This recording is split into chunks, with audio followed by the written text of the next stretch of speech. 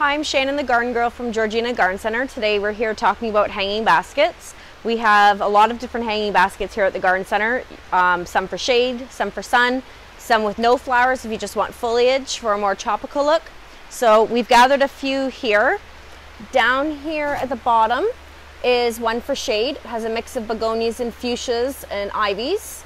Um, no deadheading involved with those ones. They'll just naturally fall off when they're done. This one down here is all foliage. You'll have tiny little flowers, but nothing that's um, outstanding by any means. And so if you want more of a tropical look or you just don't want color, you just want to keep it green, that's a good one for that. Um, also going with the tropical look, if you like, you can do the bougainvilleas, which are these here. They come in lots of different colors, hot pink, purple, coral, yellow, white. Um, if you've traveled anywhere south, you've probably seen these growing. They come back every year there. Here they're just an annual. Um, again, no deadheading on this one.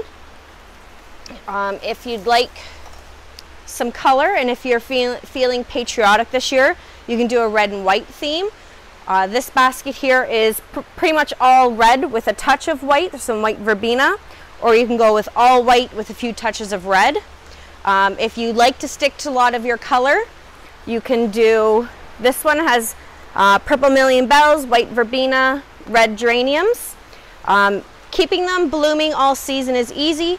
You just use your Miracle-Gro, one scoop in a full-size watering can, minimum once a week. If you do it more often, even better.